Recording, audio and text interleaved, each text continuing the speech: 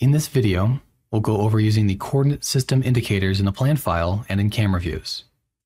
These indicators will show the orientation of the coordinate system to help better understand where our drawing is in relation to the plan and other objects in the plan. By default, the floating axes indicators should be enabled in our plan views, cross sections, and other camera views. The quickest way to turn these indicators on or off is through the View menu. Click View, and we'll see that we have toggles for the floating, fixed, and origin indicators. Let's click on the floating indicator. Now, in the lower left corner, we'll see a little indicator showing which direction the coordinates go in. X going left and right, and Y going up and down based on our current orientation. If we rotate our plan view, we can see this indicator rotate along with the plan. As an example, if we go into the Tools menu, click on Rotate Plan View, and set the rotation to some new value, we'll see the indicator rotate along with the plan. If we go into an elevation camera view and once more go to View and click the floating indicator toggle, we'll see the indicator is now showing the x-axis going left and right, and the z-axis going up and down. And if we take a full 3D camera view and toggle the indicator, as we rotate the camera around, we can see the axes move in accordance with how we move the camera, so we always know how our plan is oriented.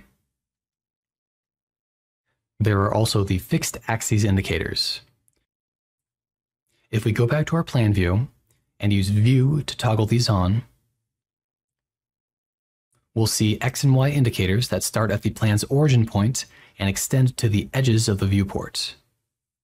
And, like the floating indicator, we can go into an elevation view or a 3D camera view and toggle these on. The fixed indicator doesn't extend to the edges of the viewport in a 3D camera, but will show a fixed indicator of all three axes resting at the origin point. The origin of our plan is the center where all three axes meet at 0, 0, 0. If we want the origin of our plan indicated but don't want the fixed axes indicators, we have a separate toggle for that. In the View menu, let's toggle off the fixed indicators and toggle on the origin indicator. This will put a marker at the 0, 0 mark in floor plan, cross section, or in 3D camera views. To modify the settings for these indicators, we'll want to go to the Edit menu and down to Preferences. If you're on a Mac computer, you'll need to click the Chief Architect menu to find Preferences. In Preferences, we'll go down to the Coordinate System option under the Edit section, and when we click it, We'll see the options for whether these indicators are toggled on or off by default in different kinds of views, along with their display settings. For example, we can toggle on the floating axes indicator for orthographic and perspective views. And if we want it to appear larger, we can increase the line length and label height to make it more apparent. We can also edit our origin indicator if we want. For example, if we want to make it stand out more, we can change its color,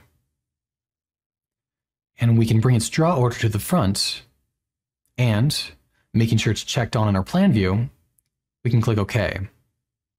Now, in our plan views, we should see the origin indicator appearing on top of other objects, and if we go back into a 3D camera view, our floating axis indicator will appear noticeably larger.